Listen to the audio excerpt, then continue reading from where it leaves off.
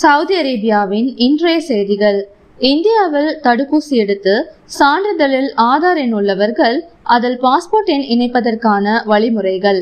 இந்திய சுகாதாரத்துறை அமைச்சகத்தின் கொரோனா வைரஸ் தொடர்பான சேவைகளுக்கான W W W dot CoWIN dot GOV dot in என்ற இணையதளத்தை கிளிக் செய்து உள்ளே நுழைய வேண்டும்.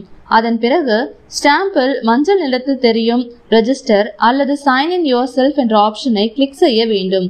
தொடர்ந்து தடுப்பூசி எடுத்துக்கொண்ட நேரத்தில் மருத்துவமனையில் வழங்கிய மொபைல் நம்பரை டைப் செய்து சப்மிட் செய்ய வேண்டும். மருத்துவமனையில் நீங்கள் வழங்கிய மொபைல் எண்ணுக்கு ஒரு ஓடிபி வரும். அந்த எண்களை வெப்சைட்டில் கொடுக்க வேண்டும். உங்களுக்கு மருத்துவமனையில் கொடுத்த அதே தடுப்பூசி சர்டிபிகேட் இதில் தெரியும். தொடர்ந்து ரைஸ் இஷ்யூ என்ற ஆப்ஷனை கிளிக் செய்யவும். ஆட் பாஸ்போர்ட் டீடைல்ஸ் என்பதை தேர்ந்தெடுத்து கிளிக் செய்து உங்கள் பாஸ்போர்ட் எண்ணை நிரப்பவும். பிறகு கிளிக் செய்து சப்மிட் கொடுக்கவும். இப்போது உங்களின் திருத்தம் செய்யப்பட்ட பாஸ்போர்ட் எண்ணுள்ள புதிய சர்டிபிகேட்டை நீங்கள் டவுன்லோட் செய்யலாம். பெரும்பாலான கல்ஃப் நாடுகளில் கோவிஷீல்டு ஏற்றுக்கொள்ளும் வகையில் உள்ளது. எனவே அந்த தடுப்பூசியை எடுக்க முயற்சி செய்யுங்கள். சவுதி அரேபிய அரசானது கொரோனாவிற்கான தடுப்பூசியின் முதல் மற்றும் இரண்டாவது டோஸுக்கு வெவ்வேறு நிறுவன தடுப்பூசிகளை பயன்படுத்துவதற்கு ஒப்புதல் அளித்துள்ளது என்று சுகாதார அமைச்சகம் வெளியிட்டுள்ள அறிக்கையில் தெரிவித்துள்ளது. இது சிறந்த பாதுகாப்பை அளிக்கக்கூடும் என்று நிபுணர்கள் கூறுகின்றனர்.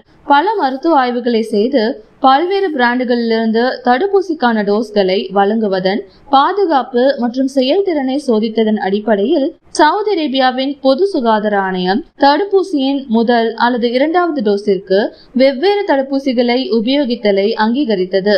ஐம்பது வயது மற்றும் அதற்கு மேற்பட்டவர்கள் மற்றும் முதல் டோஸை பெற்று நாற்பத்தி இரண்டு நாட்கள் கழித்தவர்களுக்கு வியாழக்கிழமை தொடங்கி இரண்டாவது டோஸ் எடுக்கலாம் என்று அமைச்சகம் கூறியுள்ளது குறிப்பிடத்தக்கது. இந்தியாவிலிருந்து ஐக்கிய அரபு அமீரகத்திற்கு வரும் விமான பயணிகள் போக்குவரத்தை தற்காலிகமாக நிறுத்தி வைப்பது தொடர்ந்து அமலில் உள்ளது என்று பொது சிவில் விமான போக்குவரத்து ஆணையத்தின் அதிகாரி தெரிவித்துள்ளார். கொரோனாவின் இரண்டாவது அலை பரவலை சமாளிக்கும் வகையில் இந்தியாவிலிருந்து உள்வரும் பயணிகள் போக்குவரத்து மறு அறிவிப்பு வெளியிடப்படும் வரை இடைநிறுத்தப்படும் என்று அந்த அதிகாரி கூறியுள்ளார். இது குறித்து அவர் கூறுகையில் இந்தியாவின் நிலைமையை நாங்கள் உன்னிப்பாக கண்காணித்து வருகிறோம். உள்வரும் பயணிகள் மீதான இடைநீக்கத்தை எப்போது நீக்குவது என்பது குறித்த முடிவு அனைவரின் பாதுகாப்பையும் கருத்தில் கொண்டு சம்பந்தப்பட்ட அதிகாரிகளால் எடுக்கப்படும் என்று தெரிவித்துள்ளார். இந்தியாவிலிருந்து துபாய்க்கு பயணத்தை ஜூன் இருபத்தி மூன்று அன்று மீண்டும் தொடங்குவதற்கான சமீபத்திய நெறிமுறைகள் அறிவிக்கப்பட்டது.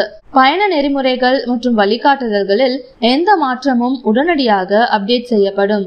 ரியாதில் உள்ள கிங் காலேஜ் சர்வதேச விமான நிலையம் ஒரு வாட்ஸ்அப் சாட்பாட் சேவையை வழங்குகின்றது.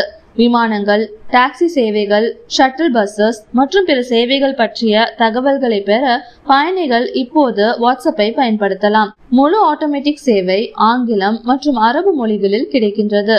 ரியாத் விமான நிலையத்தின் வாட்ஸ்அப் சேவையை இந்த லிங்க் மூலம் அணுகலாம். இந்த ஆண்டு ஹஜ் செய்ய தேர்வு செய்யப்பட்ட விண்ணப்பதாரர்களின் பெயர்களை ஹஜ் மற்றும் உம்ரா அமைச்சகம் வெள்ளிக்கிழமை அறிவிக்கும். குடிமக்கள் மற்றும் குடியிருப்பாளர்கள் உட்பட மொத்தம் அறுபதாயிரம் உள்நாட்டு யாத்ரீகர்கள் அமைச்சகத்தின் எலக்ட்ரானிக் சேனல் மூலம் விண்ணப்பித்த ஐந்து லட்சத்தி நாற்பதாயிரத்துக்கும் மேற்பட்டவர்களிடமிருந்து தேர்வு செய்யப்படுவார்கள். முன்கூட்டியே பதிவு செய்தவர்களுக்கு முன்னுரிமை இருக்காது. ஹஜ்ஜின் புக்கிங் மற்றும் பேக்கேஜஸ் மதியம் ஒரு மணிக்கு தொடங்கும் என்றும் அமைச்சகம் வலியுறுத்தியது.